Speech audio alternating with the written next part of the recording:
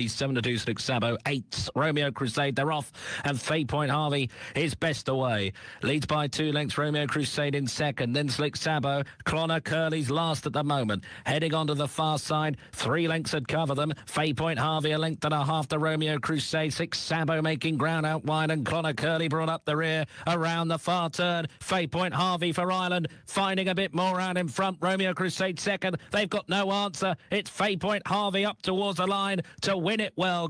Curly stayed on for second.